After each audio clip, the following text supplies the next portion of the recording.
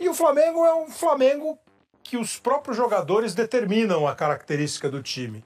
Tem algum dos. Eles são muito distintos, Flamengo y Palmeiras? Yo creo que son diferentes. O sea, la, organización de Palmeiras, sin, sin, demasiadas, sin demasiadas contrataciones de excelencia en el proceso este de Palmeiras, de este entrenador, ha generado niveles de compromiso en diferentes facetas estratégica y táctica bastante de, alto nivel competitivo porque evidentemente es muy difícil convertirle a Palmeiras.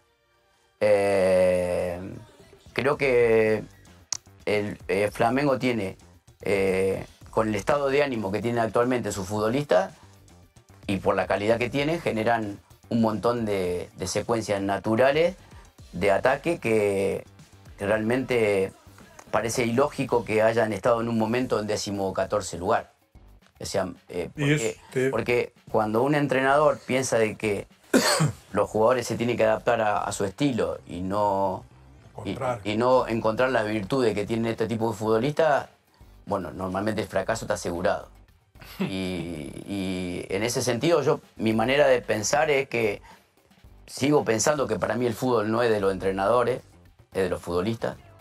Y cuando uno tiene buenos futbolistas y, le da un compromiso desde el juego, desde el balón, que para mí es lo más importante, eh, por eso digo que a este país me trajo la historia, no sé si me traería el presente.